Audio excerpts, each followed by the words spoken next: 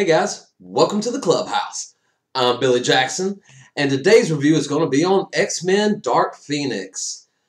I don't understand all the negativity thrown on this movie.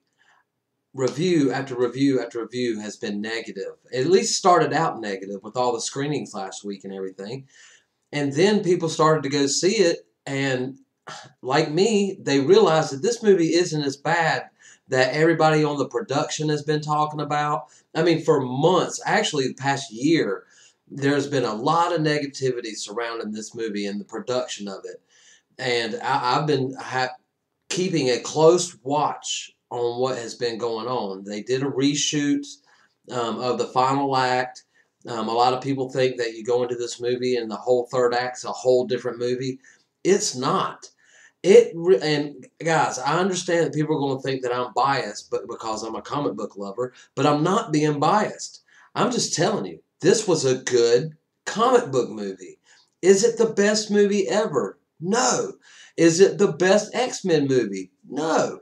Is it the worst movie ever like everybody is saying online? Absolutely not. Is it the worst X-Men movie? No. It's better than X-Men Apocalypse. It's better than uh, X Men 3 The Last Stand. It's better than X Men Origins Wolverine, and I'm a huge Wolverine fan, so I'm not biased. I, that movie is terrible. Um, it doesn't matter what I like, I just enjoy film if it's good. And this movie was good. Guys, if you are a fan and you're watching all the other reviews, I know there's not a lot of people that watch my reviews, but if you're one of the lucky ones that do, know that this is a good X Men movie. It's right under Days of Future Past for me, and if you're a fan of that movie, I think you'll really love this movie. Yes, there's some continuity issues, but every X Men film, ever since the first one that came out in the year 2000, that there have been continuity issues. I mean, Fox is saying is continuity schmontinuity. They don't care. Um, it, it completely ties together with First Class. I think you can watch First Class, Days of Future Past, and this movie, and you'll have a good trilogy of movies for the new cast that was brought on when they started this with First Class. Um, and I, it's a good trilogy. X Men Apocalypse is terrible. And that's me not being biased as a comic book fan. X Men is my favorite comic book franchise. I love that they're my favorite hero team, I should say. You know, Wolverine being my favorite character of all time. And no, he's not in this movie. Spoiler alert. He's not in this movie, so don't expect it. There's no end credit scene. This is the final movie of the Fox Studios released X Men movies. Um, as you may or may not know, Disney now owns the rights to X Men and Fantastic Four.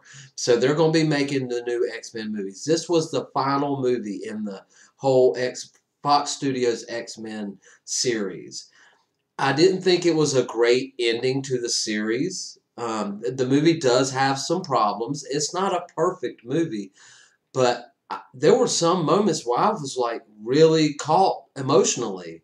Like, I mean, Sophie Turner as Jean Grey was perfect, spot on. I mean, her acting, I mean, she's one of the best actresses in this movie, I think. Um, but a lot of the performance, there's a moment with Beast in this movie. I, I can't spoil, I'm not going to spoil it for you, but I'm telling you, you'll know what I'm talking about. When he turns a switch on, or off, whatever you want to say. There's a scene with him, Charles Xavier, that I thought was brilliant and well acted, well directed, well written. Um, th- this movie does have some problems. You know, Simon Kinberg, the director of this movie, actually wrote X Men 3 The Last Stand, which is one of the worst X Men movies ever. And it's really the same story, it's the same Dark Phoenix story. Um, this one's a little tweaked. It is a little one note. You know, it's the plot you get in the trailer. There's no twist or turns or anything like that. It's, you know, Jean Grey struggling with her Phoenix powers and them trying to stop her. And she's trying to stop herself. She don't want these powers and abilities. And and I, her performance sh- showed that to me. I totally believed it. I believed every performance in this movie. Nightcrawler has one of his best scenes since X Men 2, the very beginning of X Men 2. If you like that Nightcrawler scene, this one's even better than that. So, well, I don't know about better because that was pretty friggin' awesome, but this was cool too. But um, this actually felt to me like the animated series come to life. It felt like an episode of X Men, the animated series that came out in the 1990s, put into movie form. And that's where I got my enjoyment of it. It wasn't a perfect movie, no. But gosh, you the the abilities and powers of all the X Men and them working as a team, you get that a few times in this movie. Very good action scenes. You know, I, I was very impressed. So please, guys, don't believe the hype. Trust me, this movie is not as bad as everybody's saying it is. Go see it if you're a fan. Listen to me. If you're a fan of X Men, watch this movie. It's not perfect, but it's not terrible by any means. You will love it, I promise you, if you're a true fan.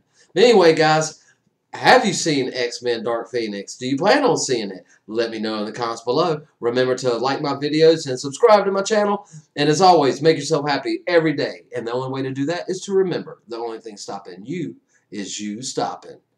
Bam!